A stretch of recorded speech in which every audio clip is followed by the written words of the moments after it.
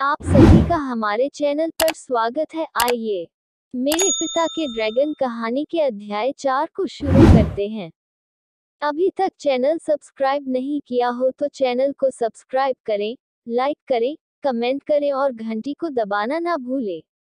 अगर आपने अध्याय एक, दो, तीन नहीं देखा है तो चैनल पर जाकर आप देख सकते हैं। इसका लिंक भी डिस्क्रिप्शन में नीचे दे रखा है। धन्यवाद। मेरे पिता नदी ढूंढता है, समुद्र तट की एक संकरी पट्टी के ठीक आगे जंगल शुरू हुआ। घना, काला, नम, डरावना जंगल। मेरे पिता को शायद ही पता था कि कहाँ जाना है। इसलिए वह सोचने के लिए एक वाहु झाड़ी के नीचे रेंगते रहे और आठ कीनू खा गए। उसने फैसला किया कि सबसे पहले नदी को खोजना है, क्योंकि अजगर नदी के किनारे कहीं बंधा हुआ था। फिर उसने सोचा अगर नदी समुद्र में बहती है तो मुझे इसे आसानी से खोजने में सक्षम होना चाहिए। अगर मैं बस समुद्र तट पर काफ़ी दूर चलूँ, इसलिए मेरे पिता सूरज उगने तक चले और वे ओशन रॉक से काफ़ी दूर थे। उनके पास रहना खतरनाक था क्योंकि दिन के समय उन पर पहरा लग सकता था। उसे लंबी घास का एक झुरमुट मिला और वह बैठ गया। फिर उसने अपने रबर के जूते उतारे और तीन और कीनू खा लिए। वह बारह खा सकता था लेकिन उसने इस द्वीप पर कोई कीनू नहीं देखा था और वह खाने के लिए कुछ खाने का जोखिम नहीं उठा सकता था। मेरे पिता उस दिन पूरे दिन सोते रहे और दोपहर में देर से उठे जब उन्होंने एक अजीब सी आवाज़ सुनी, queer queer what a dear little dog मेरा मतलब है dear dear what a queer little rock मेरे पिता ने देखा कि एक छोटा सा पंजा अपनी झोली पर खुद को रगड़ रहा है। वह बिल्कुल शांत पड़ा रहा और चूहा, क्योंकि वह एक चूहा था, जल्दी से अपने आप में बुदबुदाते हुए चला गया, मुझे अच्छी गंध आ रही है। मेरा मतलब है, मुझे किसी को बताना चाहिए मेरे पिता ने कुछ मिनट इंतज़ार किया और फिर समुद्र तट पर उतरना शुरू कर दिया क्योंकि अब लगभग अंधेरा हो चुका था। और उन्हें डर था कि चूहा वास्तव में किसी को बता देगा। वह पूरी रात चला और दो डरावनी चीज़ें हुई। पहले उसे बस छींकना था तो उसने किया और पास के किसी व्यक्ति ने कहा, क्या वह तुम हो, बंदर?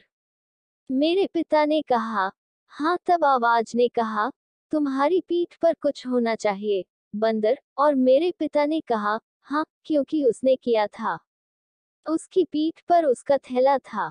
तुम्हारी पीठ पर क्या है? बंदर, आवाज़ से पूछा। मेरे पिता को नहीं पता था कि क्या कहना है क्योंकि एक बंदर की पीठ पर क्या होगा, और अगर उसके पास कुछ होता तो वह किसी को इसके बारे में कैसे बताता।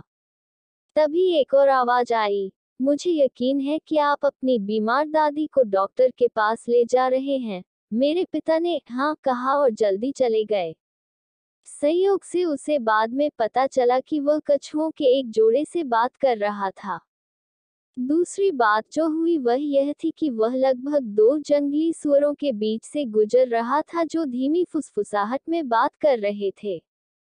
जब उसने पहली बार काली आकृतियों को देखा तो उसे लगा कि वे शिलाखंड हैं। ठीक उसी समय उसने उनमें से एक को यह कहते हुए सुना, हाल के आक्रमण के तीन संकेत हैं। सबसे पहले, ताजे कीनों के छिलके ओशन रॉक्स के पास वाहू झाड़ी के नीचे पाए गए। दूसरा, एक चूहे ने ओशन रॉक्स से कुछ दूरी पर एक असाधारण चट्टान की सूचना दी, जो आगे की जाँच में बस नहीं था।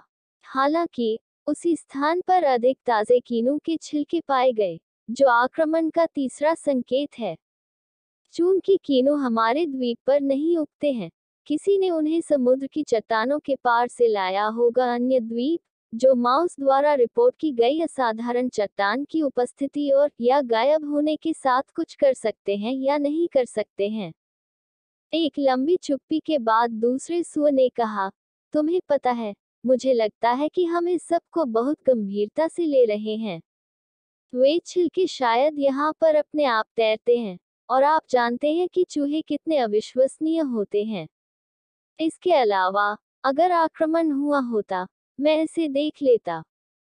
शायद तुम ठीक कह रहे हो, पहले सुअ ने कहा।